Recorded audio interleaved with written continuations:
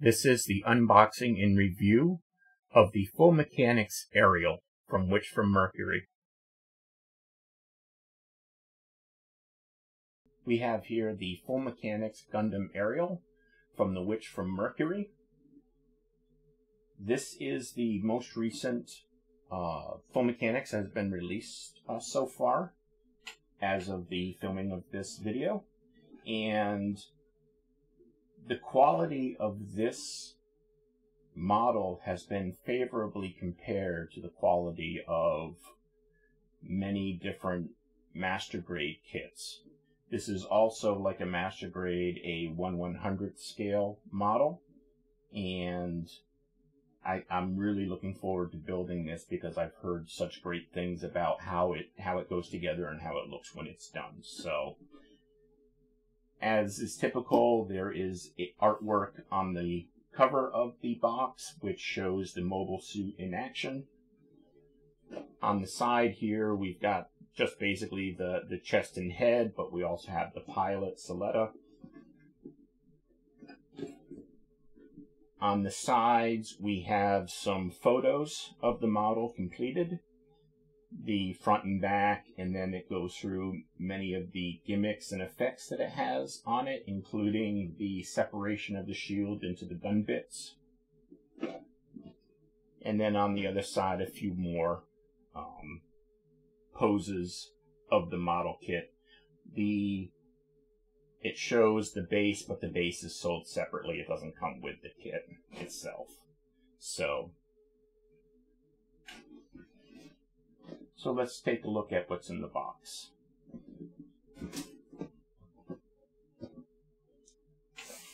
So looking here, we've got our A runner, which is very typical for any mobile uh, mobile suit kit in that the A runner is almost always multiple colors, many times including also some clear pieces.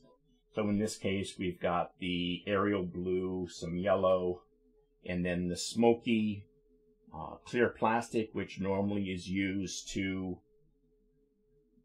be placed over the um, the activation effects that happen on the mobile suit. Then we go through some of the standard colors. We've got our, our white runners. We've got a B.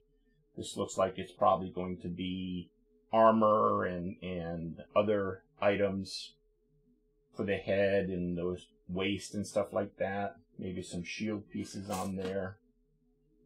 We have two sea runners. We have a one and a two, and normally if they're individually numbered like that, it means that they're all they're not complete duplicates. Like as you can see with this one, it's almost a complete duplicate duplicate of then the other runner, except one runner has this part in it, whereas the other one didn't need it because this doesn't get duplicated.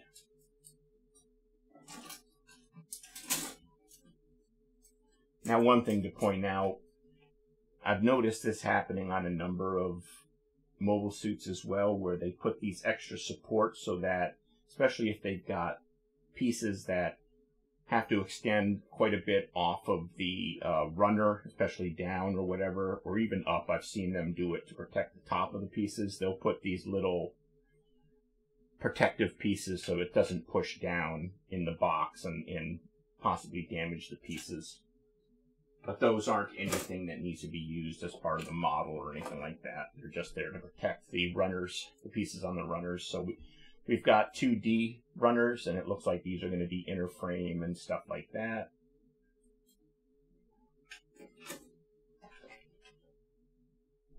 And we have an E, which looks like weapons, places that, you know, the, the, the, the place where all the gun bits uh, connect in order to form the shield, and then some inner frame pieces as well. We've got a couple of small runners that have the red pieces because this being the primary uh, mobile suit of the Witch from Mercury series, the colors are going to pretty much reflect uh, the basic Gundam main suit Gundam colors, which is the you know the original RX-78-2. So you're going to have the red, the blue, the yellow, and the white. And in this case, with the Aerial, the blue is just slightly paler. We've got some effect pieces. We've got the um, the laser sword beams, and in in the case of an air of the aerial, the uh, beam effects for the swords are flat, and it has doesn't have a round connection. It's more of a, a triangle. I mean, a, a, a rectangular insert piece, and then this here would be effect would be the effect on the the weapon. And it looks like we have some metallic red. And this is basically coated uh, plastic. So the underlying plastic is this silvery color, and then they put the red uh, coating on top, giving it more of a metallic feel. Now it looks like these are probably those activation effects that I was talking about. So these would be the pieces that get incorporated into the inner frame, and then the cloudy clear plastic would be the pieces that cover these up. And it looks like these are not undergated, however, it looks like every place where these connect will either be pegs, you know, places where things snap together, or at least would be hidden and not apparent um, in the mobile suit. It's you know when the mobile suit's put together. Because the unfortunate thing about the coated plastic is that when you're cleaning up them, uh, no matter how careful you are, just because of the way the coating is done, even just snipping the nub, you're going to see the plastic underneath. And it's always a different color. But luckily, these are done in such a way that it's not going to affect the overall look of the mobile suit itself. So, now the kit comes with uh, stickers in order to do the markings on the mobile suit once it's put together. And these do feel like they're more like the realistic stickers because they're satiny instead of uh, glossy. And hopefully that means that these are going to be like the realistic stickers, that they're much thinner, so the edges don't show as uh, as much as the more typical shiny, slightly thicker um, stickers. Now, of course, we're talking millimeters and such like that, but the difference between a one millimeter and a two millimeter, once you put it on the model, is significant in in how it shows the edges. And, and instead of incorporating nicely. And, and nice thing also I found with the realistic ones doing some realistic model kits is that I can put them on there and then I can coat them with the softener that I use for my for water slide decals and it makes them show up even less. It, it kind of tones them down and kind of melds them more into the plastic so you don't see the edge even more. So now, what I've done is I've gone ahead and gotten water slide decals because I because I prefer using water slide decals. It's just much easier for me to work with, and they don't show as as much as even the realistic stickers do and stuff like that. And it's just easier for me to manipulate these into place as opposed to having the you know the stickers and stuff like that. Even with the soapy water, I much prefer manipulating water slides. So this here I bought from a third party because at the time, uh, Bandai did not create make a water slide um, decal set yet, and I'm not sure if they actually did the full mechanics. I know they did it for the H high grade model kits, but so but I used uh, this is a third party which is Delpi, and these are very good. These are Delpi is one of the two best third party water decal producers. And the nice thing is that the numbers that Delpi Delpi uses on the um, on the water slides match up with the decal numbers that Bandai produces here in in the stickers, which means that at the back of the manually, when, when you have the markings diagram, these numbers correspond with what's on the water slide uh, backing as well. So it's easy to use the water slides with it. But you know, if you don't want to get the water slides or you don't like working with water slides, this being more like the realistic stickers, these will be just fine to work with. It might show a little bit more on the blue, but like I said, try using the softener that you can get. I use the Mr. Mark softener, which is from Mr. Hobby, and that'll help these to blend in more and not show the edges. Or if you wanted to, you could take the time to try to, with, with an X-Acto knife or something, to try to eliminate as much of the edge as possible off the sticker before applying it, and that'll help as well. So we've got here the manual that reproduces the, the box art on the cover. And it shows us all the various runners that come with it.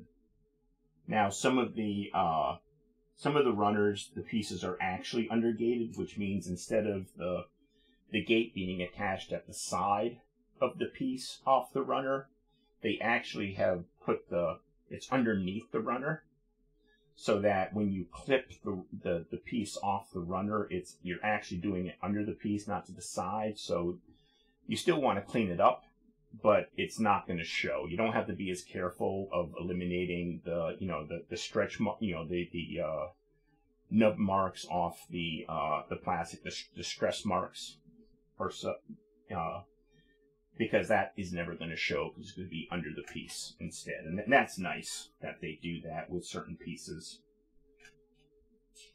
Um, so yeah, and, and looking at this, it looks like everything is PS plastic, polystyrene. So you can use any type of paint or panel liner that you want without having to worry about damaging the piece at all.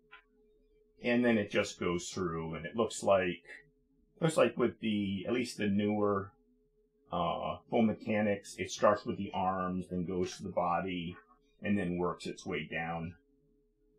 You know, does the head. Oh, I guess this one does the legs before the waist. Okay. So I guess there's no real hard pattern on the on the um, order in which things are. Now, oh, almost always the weapons and the shield are the last things you put together, but the rest of the body could be in any form. So, and then it shows how to, you know, manipulate the gun bits and stuff like that. And, and then like I showed before, the last page in the manual is the markings for the decals. And then on the back, for anyone who wants to do painting, it shows you the um, the color guide for mixing your own paints to to match the color of the plastic. And then this being one of the newest ones, you've got your Japanese text and your English text. So it gives you some history about the, you know, the mobile suit, the, um, the pilot, and then it has all the translations you need for the color paints, paint colors, sorry, as well.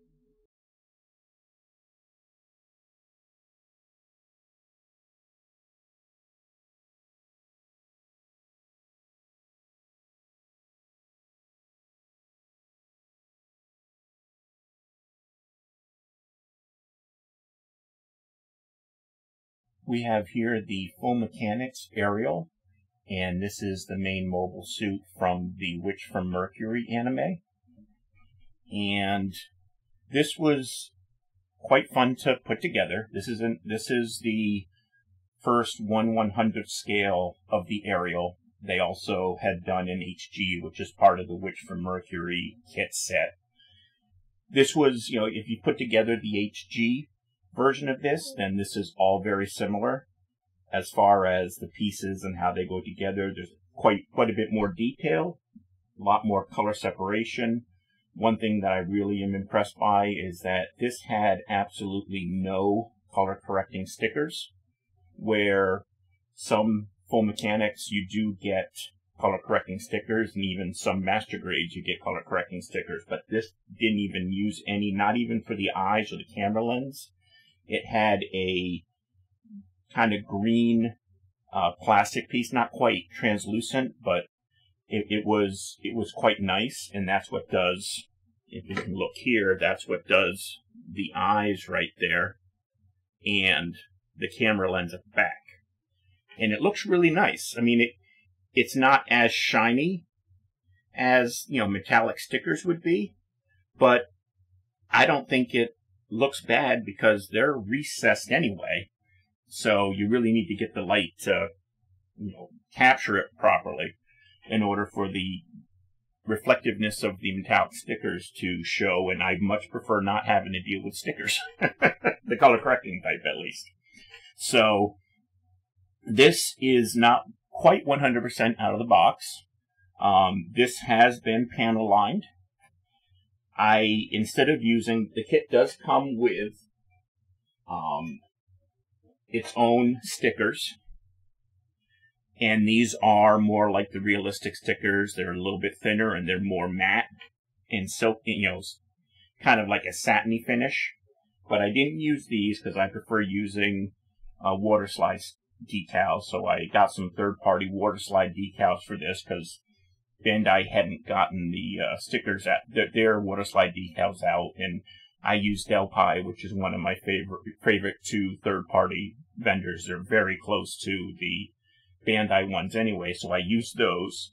So that's what the markings are on here. The water slide decals, and this also has a matte clear coat on it to protect the panel lines and the um, the decals that I put on it and stuff like that.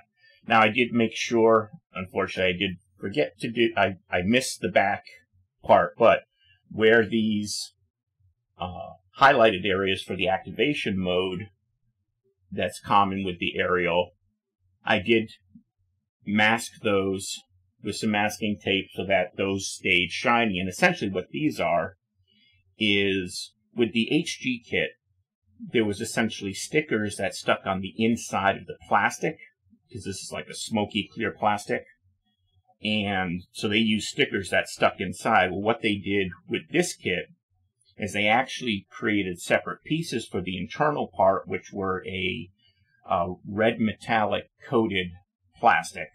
And that's what's underneath the, uh, the, um, the clear plastic. If you look there, you can you can kind of make out the red on there. So it looks really nice.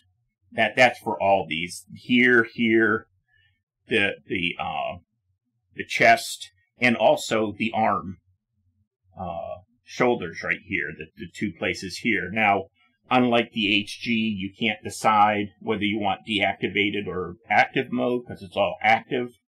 But I it always made me wonder who would choose to do deactivated in the HG, and maybe Bandai realized, even though they gave that option, probably hardly anybody would have used the black underneath the smoky um, plastic as opposed to the activated graphics. So that doesn't really detract at all from it. Um, this was very easy to put together. I, I, believe that it also would have been very easy to put together had I not done the HG because it's just the instructions are very clear and the pieces go together very easily and nicely. Um, you know, there were a couple places like, you know, this is a newer model, so the, you know, the, um, fitting of the pieces are not quite as exact as some real grades are, where you really have to get everything lined up before you push them in, but they are, this is very, this is a very tight model. Um, every, all the joints are nice and tight. There are no um, polycaps in this. It's all plastic on plastic. In fact, the joint system on this is very similar and actually almost exact to what the HG is, just higher scale. So it's all plastic on plastic stuff. Um, but um, forgot where I was going with that. Apologize. But um, but yeah, but everything is tight on this, and you know, it's got all the things that you would expect on a Gundam style mobile suit. And of course, it's got the traditional colors that are, you know, more reminiscent of the original Gundam from the original series, which is typical of, uh, the, uh, the Gundam, the main Gundam suits just about in every anime or even, you know, manga. The core Gundam suit follows the, um, the original that's how you can kind of tell who is the, the primary one. So, and in this case, that's what Aerial is for Witch of Mercury. So, but I, but like I said, I really did enjoy this, even though I, you know, I, I believe this would be easy to put together even if I hadn't done the HG, and it, and it is very nice. This is going to look really good on my, uh, my shelf. Okay, let's take a look at the accessories. Now it comes with typical you know, you have your gun, which is the Aerial's gun from the anime. It's got the shield, which this separates into the gun bits. Um, we've got the, on the backpack, you have the handles there, and it's got two beam sabers with the, the, uh, the clear plastic for the, for the actual beam and just like the other aerial, these are a rectangular peg as opposed to a circular peg, so they're you're not going to be able to use these with anything else unless it's a rectangular peg uh, on them. But there's a lot of nice detail on this because it's a much larger thing than they could do for the uh, HG. So it does look really nice. And that's a good thing. You know, obviously they didn't just take the HG kit and make everything bigger. They put the detail that they were able to. I mean, this is a very well designed kit. For the blast, uh, for the for the rifle, you can you have a beam effect on it that you can put on and off. You just kind of slide that right in there. Um, these when, when you take this apart, these come off as the gun bits, but you can put these also right in here so that it does kind of an extended rifle barrel type thing almost. You can't do the beam effect at the same time, but that looks pretty cool. Whoop, got it upside down, but anyway, still looks cool whether it's upside down or not. um, one nice thing here is with the gun is it does come with this little connector so that you can put this in and there, there's like an I-beam thing here which connects it to the actual, to the gun right here. You just got to work it a little bit and get it in there. And then this peg is compatible with anywhere that you have a peg. So it's on the leg here, on the backpack, even on the arm right here. So you can have the gun stored in any way you want. Um, so, and then um, it comes with now I, what I've got on here are the are the two hands that are unique for each size. So on the right right hand you have the trigger finger for the gun, and that's on there. And each hand has has an it has a basically a, a ball joint thumb that can move, and that's important because there are no pegs that connect like the gun or any other, you know, the the, the handles for the beam so late uh, beam sabers. So everything depends on the fact that it fits in there, and then the thumb basically holds everything in place, and it works pretty well. You know, very rarely have I had something come apart while I was doing the posing for the figure presentation. So it does work pretty well. It's just a little bit awkward. So for the right hand, you have the trigger finger for the gun, and then on the left hand, you have the open hand. And there's no open hand for the right or trigger for the left. And then you have your um, optional hands. You've got two fists. You have two two closed fists, one for each hand. And you have two grasping hands and this would be to hold on to the um, the uh, lightsaber, beam saber.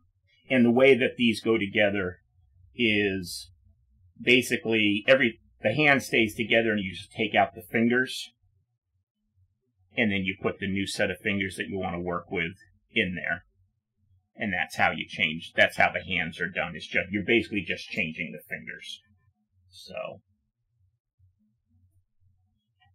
And that's pretty much it for the accessories. One thing you do get and i've got it on here already is you do get this. This is the adapter for the um for the stand and it, and it works with a typical you know one one hundredth scale master grade whatever uh, stand I think this is a type 5. I think that's what they call it. And you just kind of stick it in there like that. And one thing I did notice is that once you have it attached on, I mean, it seems really, really sturdy when it's on there by itself. But as soon as you attach it with this extra lever here, then it's real easy to come off. it just comes off with any kind of motion. So that's kind of why I've got the stand itself kind of tilting back a little bit.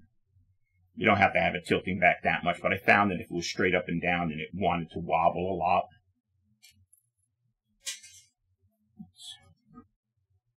So, and then when this isn't on there, when it's not on the stand, then they've got a, a little part that just covers that up.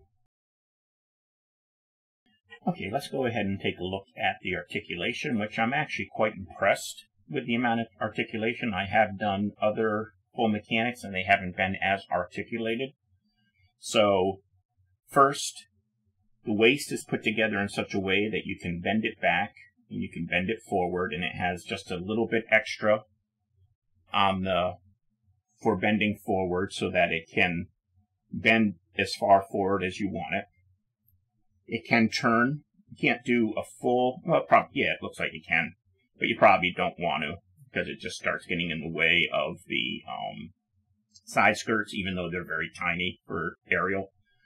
It's almost no, it's almost like just kind of uh, hip skirts, um, as opposed to complete side skirts. But so here we have the shoulder, and the shoulders can move all the way up and you've got this extra little bit that can move around here. And then in here, you've got this little bit that can move back and forth. So you do have some good articulation in the shoulder. We'll keep that up. The arm, it can turn all the way around. It's got kind of this extended, little bit more movement right there in the shoulder, back and forth, just because of the way the joint that holds it together. The arm can go all the way out, level with the shoulders. It, the arm turns at the shoulder, which is nice because not all arms will do that, but this one does. Trying to keep track of where things are here. Um, it has the typical elbow, which is really a single joint, but it goes up pretty far for a single joint. And also, it turns where the elbow meets the forearm, so that's nice. You can have some extra articulation there. And not only that, but there's another joint right here in the forearm, forearm that allows just the forearm to go up. Doesn't go up a whole lot, not quite at a 90 degree angle, but it does give you some additional articulation, especially since you can turn it. And that means you can get the hand further in if you want, type of thing, go towards the middle and stuff like that. So, you know, with the fact that you can turn up here and you can turn here and then bend this, you really have a great range that the, that the arm can go into. And then on each hand, You've got the thumb, which has a ball joint, and you can move the thumb around in that ball joint. And, which I'm really appreciating the fact that this is, looks like it's the way that Bandai does it nowadays, is that essentially the ball joint is held in place by the back of the hand. the way that everything goes together. So you don't have to worry about the ball joint popping out like you like early real grade hands and stuff like that. So you know the the unfortunate thing is is that I don't know if it's so much unfortunate, but that there is no articulation in the fingers, um, which you know that can be a bit of a pain in some cases. There there are other ones like I did the um, Master Grade SD, and that had articulation in the fingers as well. And the way that they did it is they kind of split the fingers into a three finger and a, and a single pointer finger. And the way that it, those had individual ones, but they, they, the, they had ball joints and they were held in once again by the backing of the hand, so they never popped out, which is great. But in this one, you don't really need the articulation because it gives you plenty of alternative hands for the grasping and the trigger and all that kind of stuff. So you really don't need the articulation in that in that um, aspect. So here on the backpack, we've got the you know you put the handles for storage. You can just kind of move them back and forth. The head has the forward and backwards. This has the forward and backwards movement. You can turn it all the way around. And of course, you know, tilt the head up and down, not just have the, the neck move back and forth. So, and you can go somewhat side to side, but not a whole lot. It's more forward and backwards is the main movement and the turning. Um, here in the, I already did the waist. But as you can see, you kind of have the ab crunch here as well, which is nice. And then here in the, as far as the skirting is considered, there's a little bit of movement on each side skirt, but they're really, they're really just kind of hip skirts. And even this front part comes out a little bit.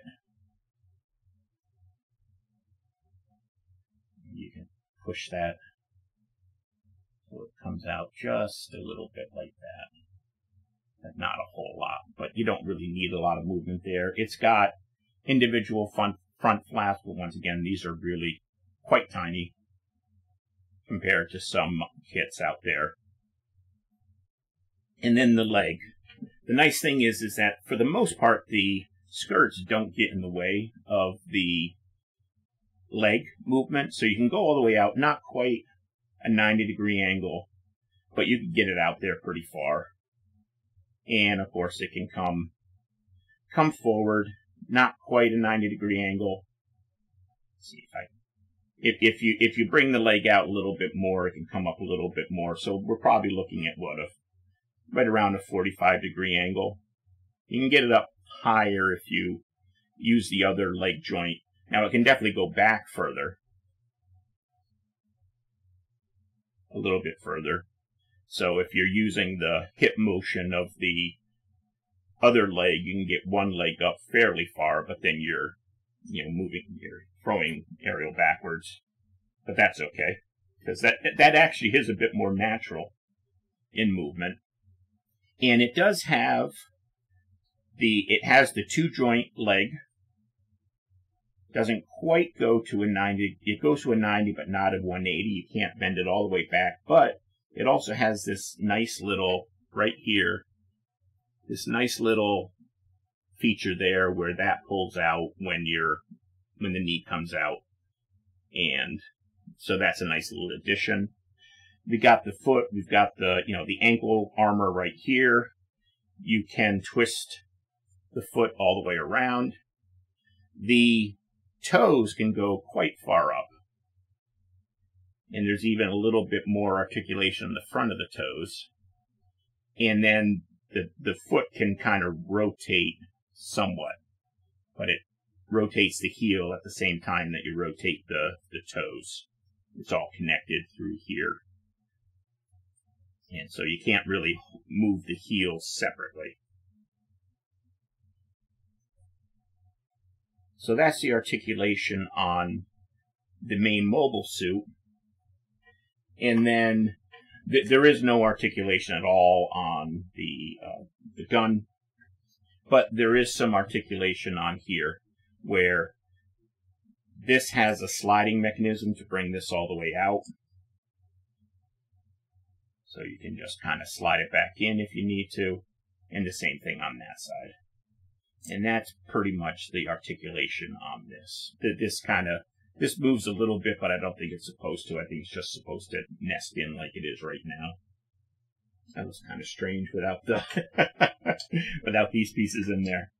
So it took me a second to realize what was different. Oh, wait a minute, what's going on? so, so that's the articulation. It, it, it's, it's, it, there are places where I'm really happy, like the arms. There's so much more little tiny articulation you can do that it really gives you a lot of movement in the arms and the hands and getting the beam rifle or the beam sabers exactly where you want them.